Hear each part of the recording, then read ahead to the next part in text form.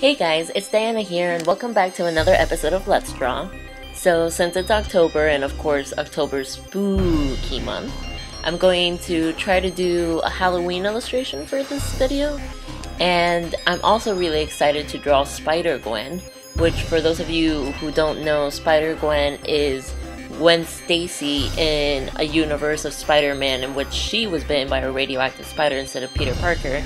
And anyway, like a while back, she got a whole outfit redesign, which looks completely amazing. And I've always wanted to draw it, and for some reason I just kept forgetting. So, you know, today is gonna be the day. This video, finally gonna get to draw her, and I'm gonna do a step by step so you guys see how I came up with this drawing or illustration. Now I'm going to start how I always do by roughing in the character in very broad shapes. So this is all circles, squares, and general outline, trying to figure out what pose I want her to be in, that sort of thing.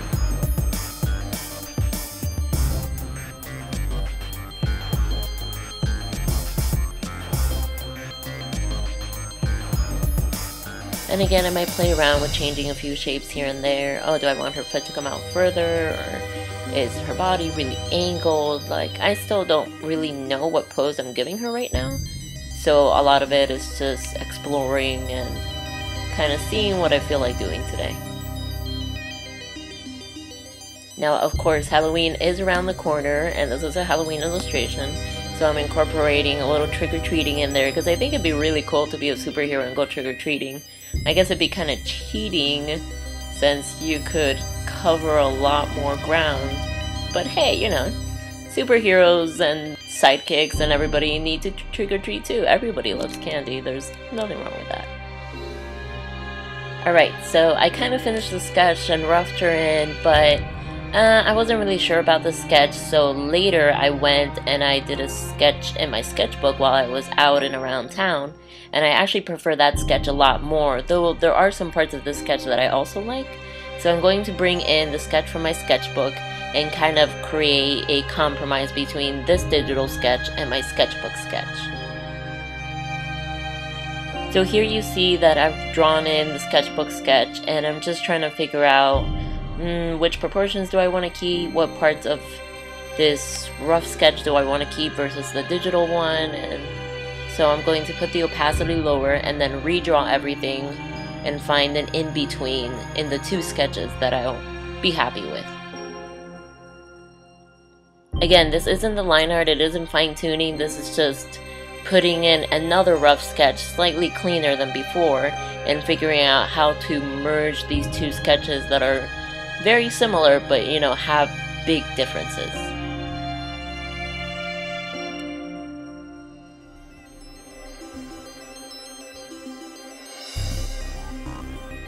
Alright, so I decided that what I was kind of happy with was I like the upper torso expression, and arm posing in my sketchbook sketch, which you see that I've kept here. And I also like the digital sketch and how I had the legs and that kind of posing. So I think it's going to be a half and half of the two sketches for now.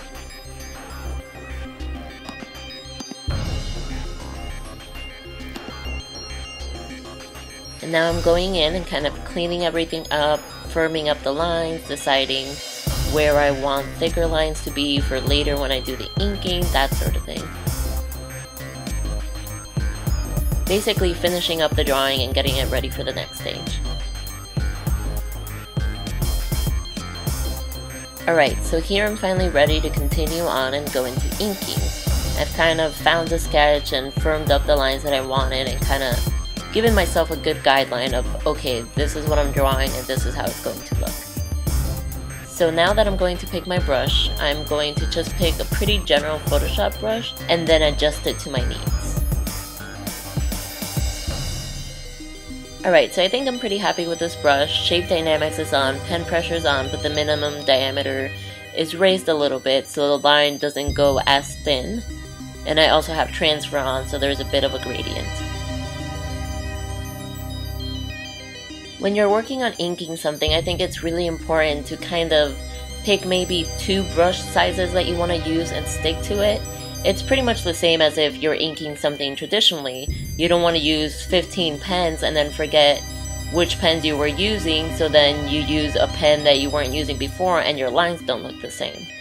So I technically usually try to stick to maybe two or three brush sizes when I'm inking. So an easy way to remember this is kind of try out different brush sizes and then once you decide, okay, I'm definitely going to be using a 7 for a lot of the line work, you do a dot to the side and you put the size of the brush. That way later when you're trying to redo a line, you don't use a brush size 10 and then you have to be constantly thinning it out or adjusting it because all of your other lines are a brush 7 size. So yeah, I'm just gonna go through here and start inking all of the lines. Again, I'm one of those people that the sketch to me is more of a guide. I don't follow it so strictly. It's more of a an idea of, hey, I kind of want it to look like this, but then when I'm inking, I tend to, you know, make executive decisions about, mm, do I really want that there? Do I really want this to thin that much, etc. So different people work different ways. Some people stick very, very closely to their sketch and just ink their sketch, while I use my sketch as more of a guide. Both options can work. I think it's pretty much just completely up to the person. I'm pretty good at improvising, and if I'm not following my sketch super closely, I can make pretty good decisions about what a good line art would be instead of what I had in the sketch. While other people spend, you know, hours and hours on their sketch because they want it to be perfect, and then they just ink this perfect sketch, and that works for them. There's many different types of inking styles and drawing styles, so a lot of it is exploring and trying to figure out what works for you.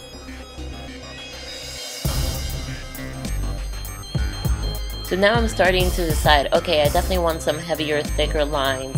I'm going to need another brush size to kind of guide myself with. So I'm putting a point down for a brush size 9.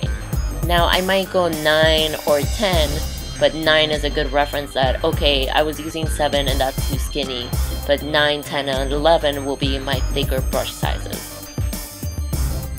Alright, so here again I'm just continuing with the line art.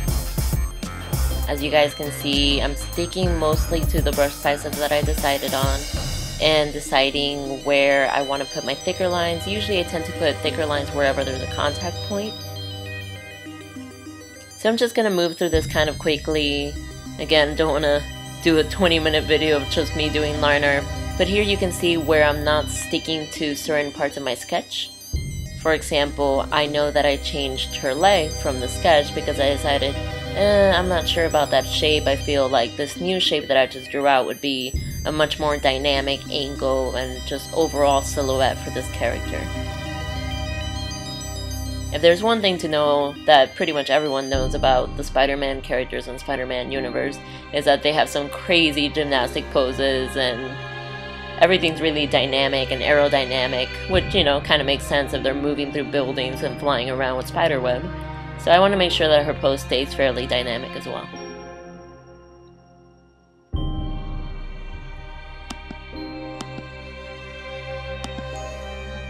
Now the liner that I'm working on here is much more about cleanup. You can see me picking much thinner and much thicker lines, so now I've also added brush size 5 and brush size 15. And these are the lines that are going to really make a statement. So they will either be the very thin detail lines or the very thick, bold shadow lines. Again, I completely love this new design for Spider-Gwen and just the color choices, which I mean, I'm not doing color in this video, that will be the next video, but the color choices for her outfit are just so simplistic but also very pretty, and her outfit is still very feminine without you know, being gross or having to show too much skin. So it's just like a really awesome character design. I'm not sure if there's any specific rule on how to draw webbing, especially not in a comic book superhero world. I tried to look up some reference for the webbing in Spider-Man, but it seemed like it wasn't exactly consistent. It was kind of all over the place and draw it as you will. So that's pretty much how I'm drawing the spider webbing. Making it look cool, but I, I doubt that that's what it would actually look like if, you know, it was a real life movie. And of course, this is a Halloween illustration. So we gotta make sure that we have some candy, because I mean, trick-or-treating, Halloween, they kind of come hand in hand. So I'm making her pumpkin that she carries around her candy in. I guess swings around with her candy in, whichever. And because I want her swinging around maybe through some buildings, I haven't decided really on a background yet. I'm also adding some of the candy moving through space, so some of it is falling in or out of the jack-o'-lantern or her little candy bag. And this adds on to the feeling that she's moving and she's in motion if the things that she's holding are off kilter or also seem to be falling in and out or moving. So I'm just going to drop some quick color in here to make her pop from the background.